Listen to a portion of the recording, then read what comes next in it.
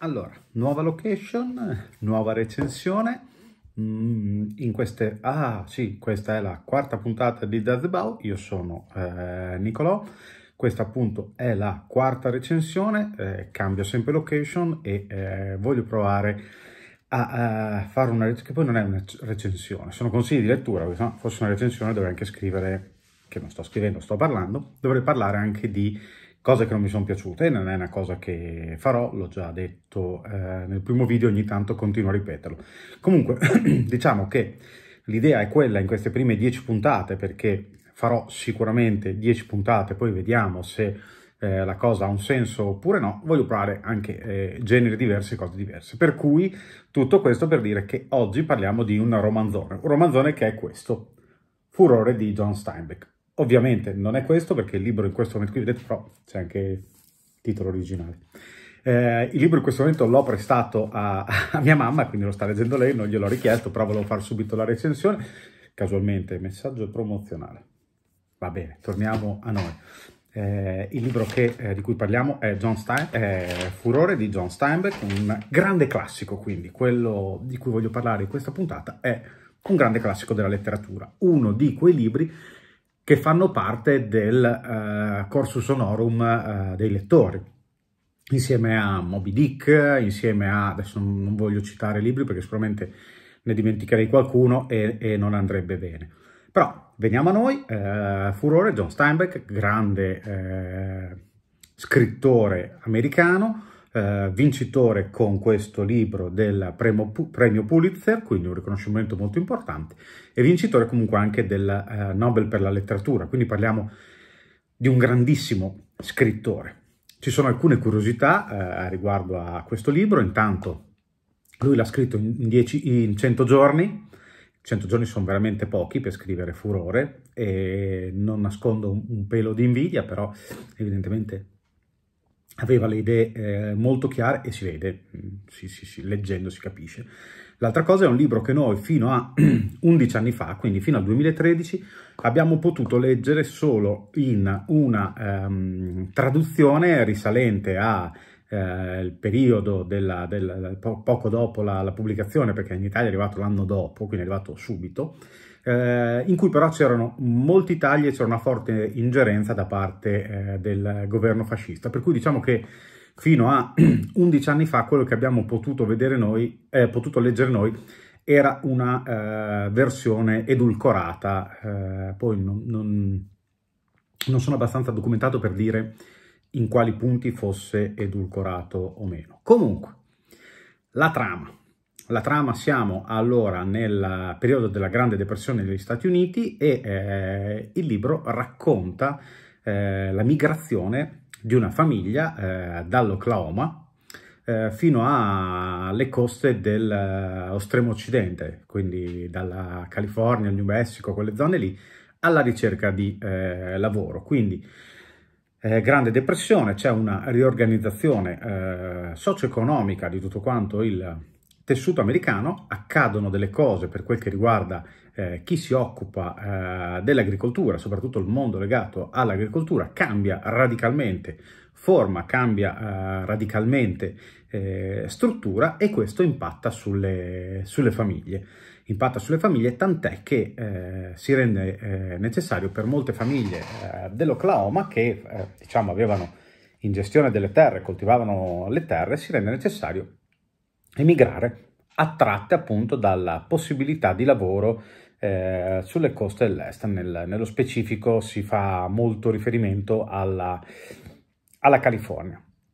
Quindi al viaggio di questa famiglia, una famiglia durante il viaggio accadono molte cose, eh, un viaggio molto complesso eh, con un leggero filo di speranza che subisce costantemente dei colpi dalla, dalla vita e una fiammella appunto che va via pian piano sempre più affievolendosi e, e spegnendosi e questo è un po' il, il racconto. Quindi diciamo che è un uh, romanzo uh, con una forte valenza storica, su questo ci sono poi, ha scatenato tante eh, critiche, ci sono stati, mh, si trova facilmente su, su internet diversi ricercatori che hanno eh, ripercorso e studiato un po' quello che ha raccontato Steinbeck e che arrivano alla conclusione che quello che racconta lui in realtà non è vero, che è fortemente romanzato, ci sono esattamente lo stesso numero di critici che hanno fatto lo stesso tipo di ricerche e sono arrivati a conclusioni diametralmente opposte. Questo per dire che in tutte le epoche storiche ehm, si può arrivare a una conclusione o a un'altra, quindi dobbiamo sempre fare attenzione a cosa andiamo a leggere, alle fonti, all'importanza di quello che eh, leggiamo e andare a eh, capire e, e cogliere eh, la credibilità di chi ci sta dicendo qualcosa. Ma non voglio parlare qui di eh, fake news, internet e tutto ciò che è difficile eh, capire di, di, di, questa società in cui viviamo. Voglio ritornare a furore per dire che appunto ci sono state molte critiche, devo imparare a parlare più lentamente e um, appunto perché c'era chi dopo diceva che questo viaggio eh, raccontato dall'Oklahoma fino alla California in realtà è quasi totalmente romanzato e inventato, c'è chi invece dicevano no, erano vicissitudini eh, che succedevano, poi ovviamente all'interno di un romanzo, quindi eh, diciamo che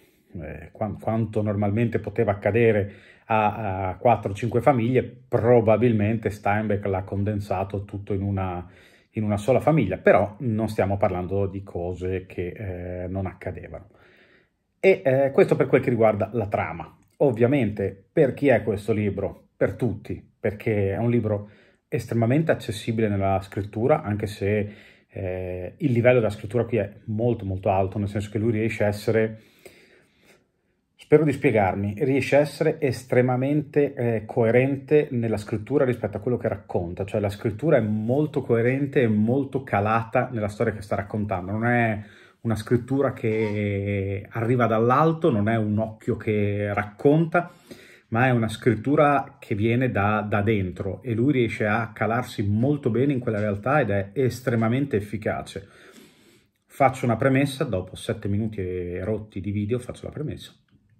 Non è il mio genere, come dicono quelli un po' così, not my cup of tea, non è propriamente il mio genere, anche se eh, sono stato 5 minuti prima di fare questo video a chiedermi perché dici che non è il tuo genere, non, non, lo so fino in fondo, però non ho la percezione che sia un genere che mi appartiene, però qui siamo di fronte a un, capolavoro, un capolavoro nella scrittura, nel raccontare una storia che comunque è la storia eh, degli stati, forse perché in questo momento qui non vivo un, un gran momento di eh, di fascino eh, da, da, parte de, degli Stati Uniti. Forse per quello, è il mio momento con gli Stati Uniti che mi allontana un po' da, da questo genere qui, però non lo so. Vabbè, non è importante questo. Torniamo. Una grandissima storia con grandissimi personaggi e con una capacità narrativa, ragazzi, incredibile. Sono più di 600 pagine, 630 pagine, ma con una capacità di scrittura fuori dal mondo. Qui siamo veramente di fronte a un premio Nobel, un premio Pulitzer e poi secondo me avrà vinto sicuramente anche degli altri premi eh, importanti che adesso non, non cito.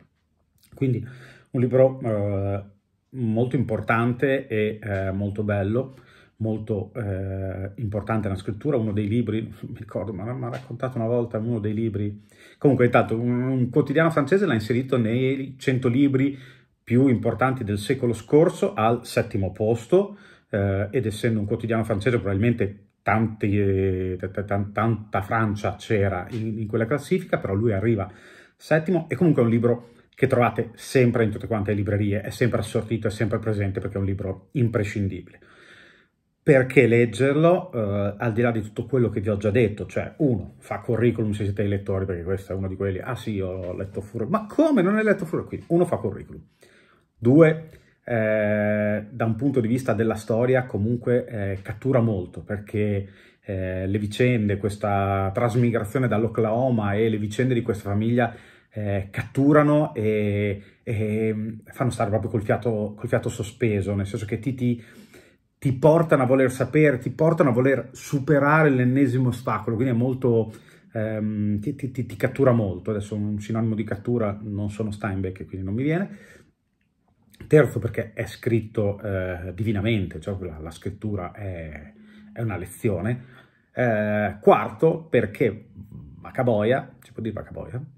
si potrà dire, vecchia boia, eh, leggendo hai la sensazione che non stai leggendo qualcosa di totalmente diverso a una realtà che sta a pochi metri da noi. Eh, forse questa è una caratteristica dei capolavori della letteratura, e cioè il loro essere costantemente attuali, perché dietro a una storia in realtà c'è eh, il genere umano, c'è la società umana, c'è eh, le caratteristiche di noi eh, esseri umani, di me, non l'ho detto. Eh, quindi qui ritrovate tante cose che appunto sono anche sotto il nostro sguardo oggi. Eh, è difficile non riconoscere in quello che succede alla famiglia protagonista di questo racconto mille cose che possiamo leggere sui giornali e che ci rifiutiamo di vedere girandoci dall'altra parte. Comunque, non voglio andare avanti oltre perché sono già lunghissimo, questo non è furore perché come ho detto in apertura l'ho prestata a mia mamma e adesso ce l'ha lei, ma io volevo fare questo video. John Steinbeck, sotto c'è anche il titolo originale, leggetelo, perché questo è veramente uno di quei libri che bisogna fare lo sforzo di leggere, portare un po' di pazienza all'inizio, perché comunque è una scrittura che ha ormai quasi 80 anni, quindi bisogna portare un po' di pazienza all'inizio, empatizzare con questo tipo di scrittura, ma poi dopo non vi molla più. Grazie.